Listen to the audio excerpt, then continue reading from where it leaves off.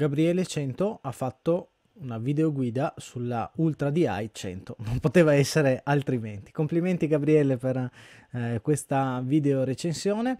Eh, la DI Behringer Ultra DI 100 è una delle DI più utilizzate al mondo, credo, in assoluto in studio di registrazione e eh, anche in, uh, soprattutto in, in live, per, per, la verità.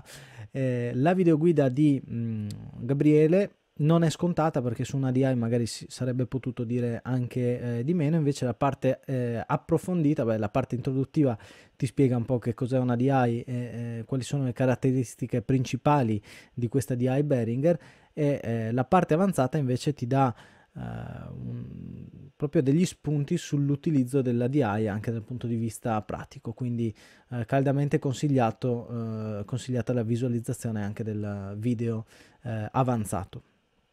Buona visione quindi eh, da Francesco Nano e grazie ancora Gabriele per questa eh, bella video recensione. Ciao! Un saluto a tutti gli amici di scuolasuono.it ed appassionati di recording. Io sono Gabriele Cento e vi parlo dal mio home studio di Milano. Puoi visitare la mia pagina profilo Scuola Suono per ulteriori dettagli. In questa video guida parleremo di Behringer Ultra DI 100. Che cos'è la Ultra DI 100 della Behringer? Si tratta di una semplice eh, DI box che eh, vedremo adesso nel dettaglio come funziona. Prima di tutto cos'è una DI box? La DI box è uno strumento essenziale per il trasporto del segnale. Eh, immaginiamo di dover connettere una sorgente, quindi un'uscita di tipologia sbilanciata, ad un carico, quindi un ingresso bilanciato. Eh, un esempio nei live, in molti casi eh, vi sono parecchi metri di distanza tra il nostro strumento e il mixer Ecco, il fattore della distanza suggerisce immediatamente che non è il caso eh, di utilizzare un cavo bilanciato. E immaginiamo le varie interferenze che eh, potrebbero rovinare in un certo senso il nostro segnale.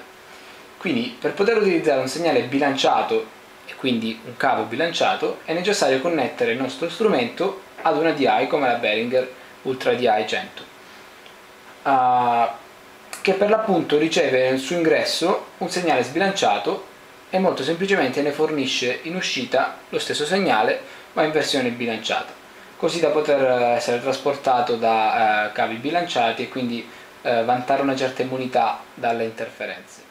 La Behringer Ultra DI 100 è una DI attiva e quindi possiede eh, un sistema di alimentazione proprio e vediamo le principali funzioni.